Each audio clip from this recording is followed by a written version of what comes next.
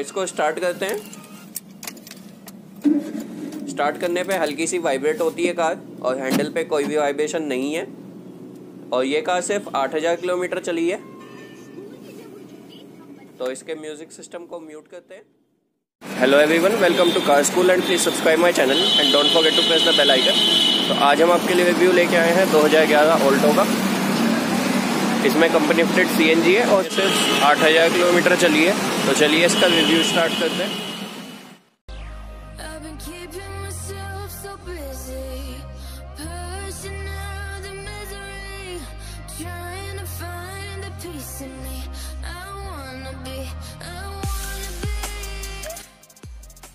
इसका production start हुआ था 2000 में और 2014 तक कंटिन्यू रही है ये। इसका प्राइस स्टार्ट होता था 2.7 लाख से और जाता था 3.8 लाख तक एक्स शोरूम सेफ्टी के अंदर हमें इसमें मिलता है front impact beam side impact beam engine immobilizer centrally mounted fuel tank child safety door locks और सीट बेल्ट अगर आप ऑल्टो पेट्रोल का रिव्यू देखना चाहते हो तो उसका लिंक आपको आई बटन में मिल जाएगा और वो डिटेल्ड रिव्यू है ऑल्टो का।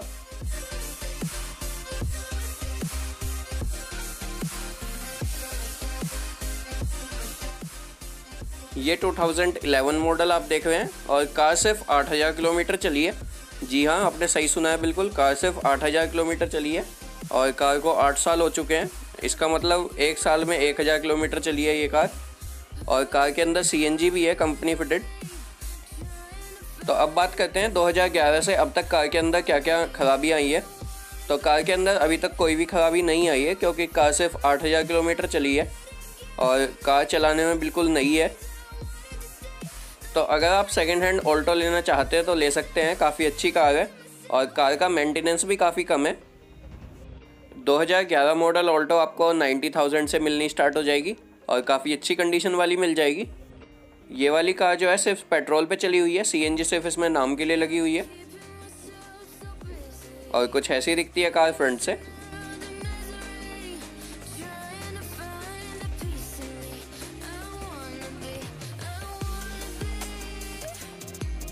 यह है इसकी हेलोजन हेडलैम्प और इंडिकेटर सुजुकी का लोगो ग्रिल तो अब इसका बोनेट खोल के दिखाते हैं आपको कि कैसी कंडीशन है इसके इंजन की।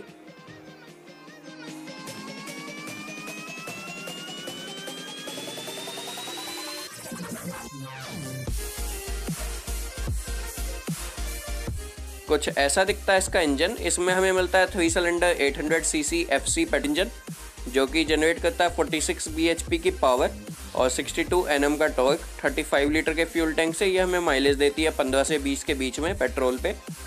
और सी एन जी पे ये हमें माइलेज देती है 18 से 25 के बीच में। और इंजन आप देख सकते हैं, काफ़ी अच्छी कंडीशन में है, कोई भी लीकेज वगैरह नहीं है।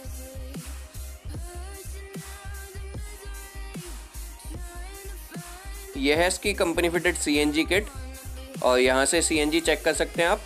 इसमें सी बिल्कुल नहीं है, क्योंकि ये सिर्फ़ पेट्रोल पे चली है।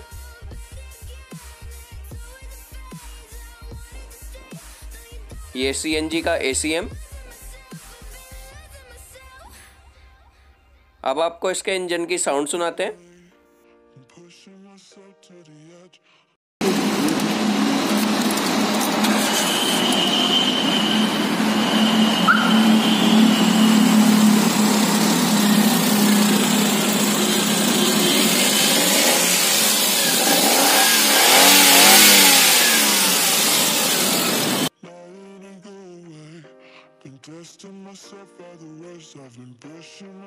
To the most.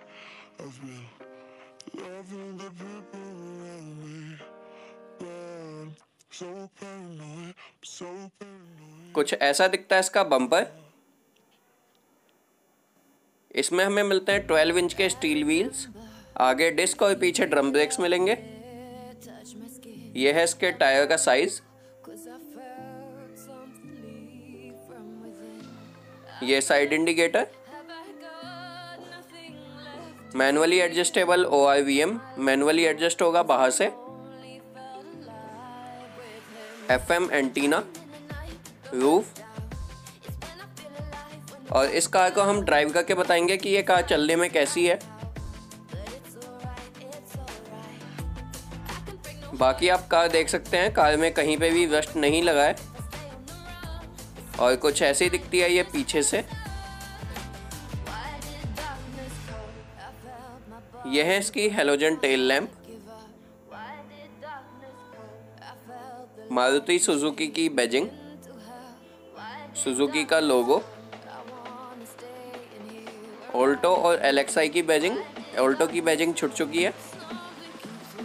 इसमें हमें मिलती है 160 सिक्सटी mm की ग्राउंड क्लियरेंस 705 kg का कर्व वेट है. अब इसका बूट खोल के देखते हैं और आपको कंपनी वेटेड सिलेंडर दिखाते हैं इसका सीएनजी का।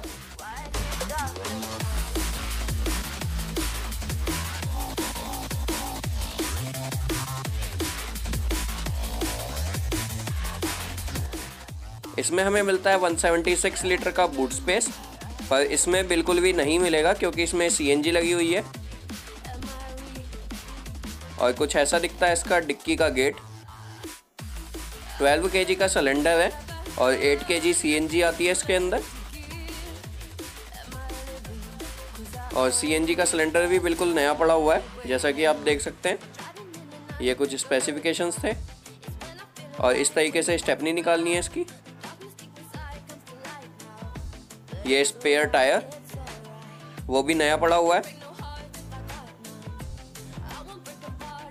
और ये सीएनजी की मोटर 12 वोट की। कंपनी फिटेड सिलेंडर में हमें मोटर मिलती है।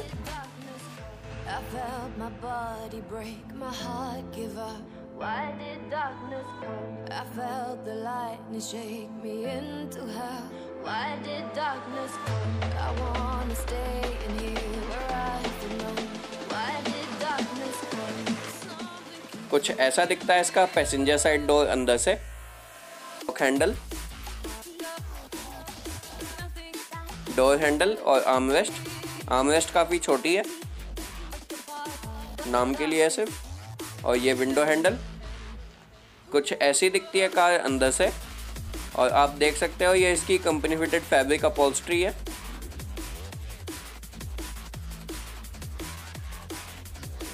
ये है इसके कंपनी फिटेड सीट कवर्स और हेडरेस्ट हमें फिक्स मिलेंगे। ये बूट और कुछ इस तरीके से निकालते हैं इसका स्पेयर टायर सीट फोल्ड होने के बाद स्पेयर टायर आराम से निकल जाता है। ऐसे सिर्फ़ सीएनजी वाली गाड़ी का निकलता है पेट्रोल वाली का नॉर्मली पीछे से ही निकल जाता है। यह है पीछे के हेडरेस्ट फिक्स मिलते हैं हमें और दो मिलेंगे।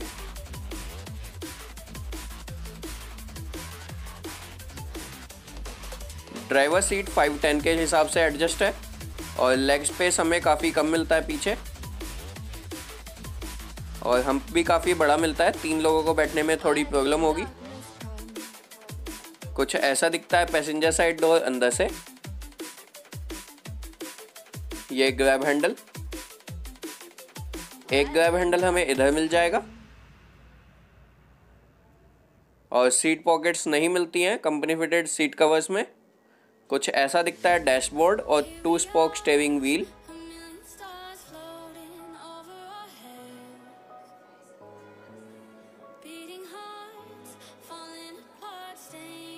ये सीट बेल्ट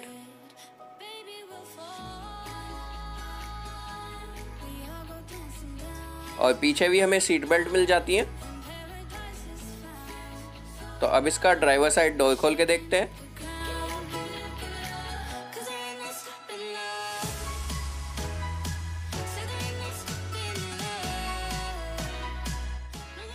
कुछ ऐसा दिखता है इसका ड्राइवर साइड डोर अंदर से।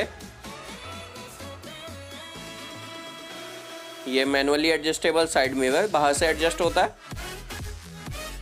विंडो हैंडल ये लॉक हैंडल डोर हैंडल और आर्मरेस्ट थोड़ा सा स्पेस गेट में हमें बोतल होल्डर नहीं मिलते हैं। और कुछ ऐसी दिखती है कार अंदर से। कंडीशन आप देख सकते हैं, काफ़ी नई कंडीशन है कार की।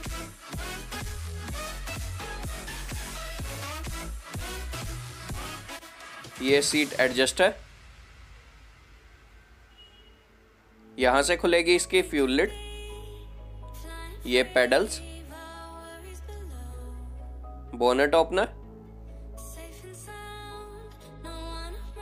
लाइट और सीएनजी के कंट्रोल्स ये एसी वेंट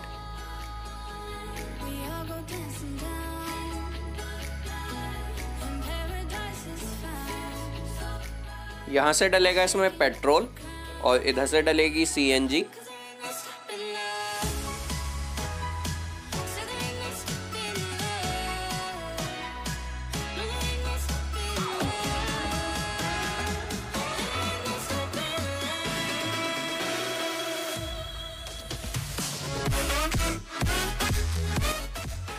कुछ ऐसा दिखता है इसका? Two spoke steering wheel dashboard ये हॉर्न ये है इसके एसी वेंट तो अब कार को ऑन करते हैं।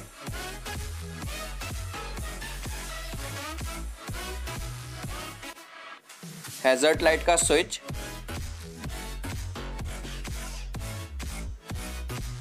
चल नहीं रहा है और ये हैं इसके एसी के कंट्रोल्स मैनुअल एसी मिलता है। ये है इसका company fitted music system Maruti Suzuki का। इसमें हमें ऑप्शन मिल जाता है F M U S B aux और एस डी कार्ड का। और ब्लूटूथ का ऑप्शन भी है इसके अंदर। इसके म्यूज़िक सिस्टम में हमें कंपनी से दो स्पीकर्स मिलते हैं, जो कि डैशबोर्ड में लगे हुए हैं आगे। और कुछ ऐसी है इसके म्यूज़िक सिस्टम की साउंड अगला संदेश अकोला से आया है विनायक चांदे विशाल चांदे की। कुछ प्रॉब्लम है चैनल्स जो हैं अपने आप चेंज हो रहे हैं जैसा कि आप सुन सकते हैं।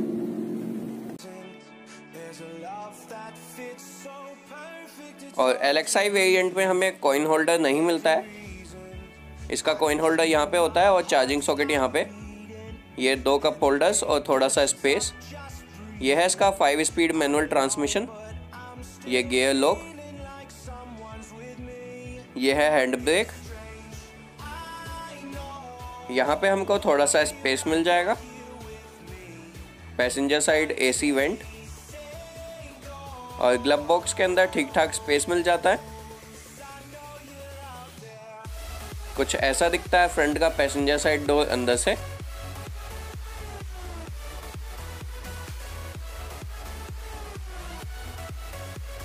ये ग्रैब हैंडल और पैसेंजर साइड में कुछ नहीं मिलेगा। रीडिंग लाइट ड्राइवर साइड में भी कुछ नहीं मिलेगा।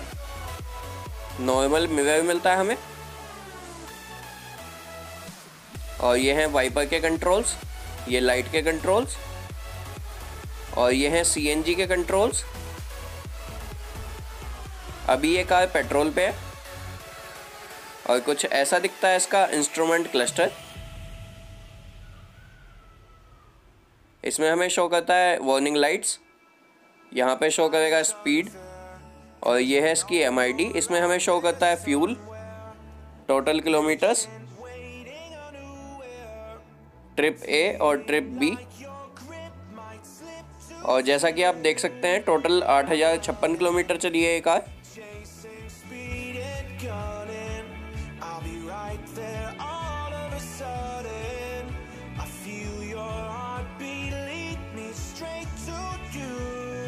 तो अब कार को ड्राइव करके देखते हैं।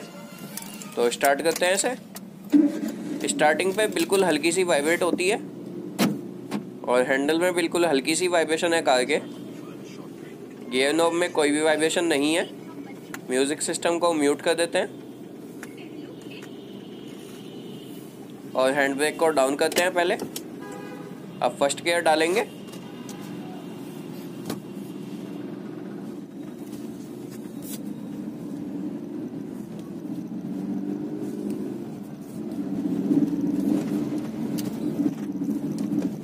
और क्लच प्लेट भी नई पड़ी है इसकी।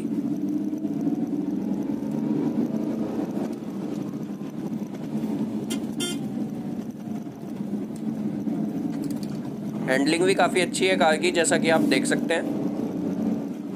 और गाड़ी का इनिशियल पिकअप भी काफ़ी अच्छा है। पेट्रोल पे चल रही है ये सी है नहीं इसके अंदर। स्पीड ब्रेकर्स पे झटके थोड़े ज़्यादा महसूस होते हैं।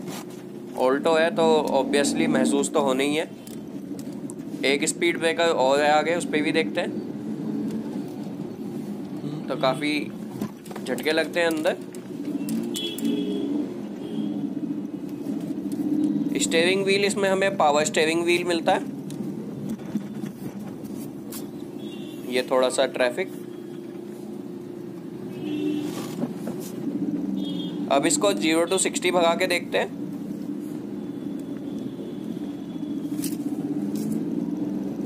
ट्रैफ़िक है इसलिए ज़्यादा नहीं भगा सकते। तो जैसा कि आप देख सकते हैं कार सिक्सटी पे भी काफ़ी आसानी से पहुँच गई है। बिल्कुल नया इंजन है कार का आठ हज़ार चला है सिर्फ़। तो ऑब्वियसली पहुंचनी है कार जल्दी से। और सीएनजी है नहीं इसके अंदर बिल्कुल भी। ब्रेकिंग की बात करें तो ब्रेकिंग ठीक ठाक है कार की। इतनी अच्छी नहीं कह सकते हैं।